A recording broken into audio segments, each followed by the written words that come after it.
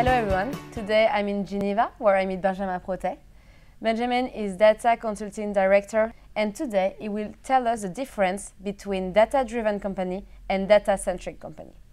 So hello Benjamin, can you tell us more about the difference? Hello everybody. It's a good question.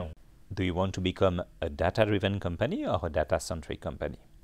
A data-driven company is driven by data. A data-centric company is driven by business. What does it mean? It means that a data-driven company starts from its data, analyze data and take decision.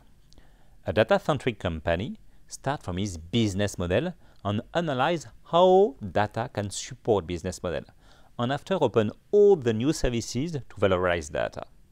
It's a very good starting point to start to become a data-driven company. But if you want to unleash all the power of data, you have to become a data-centric company. Thank you Benjamin for your input and see you next week for a new tech trends topic. See you next week.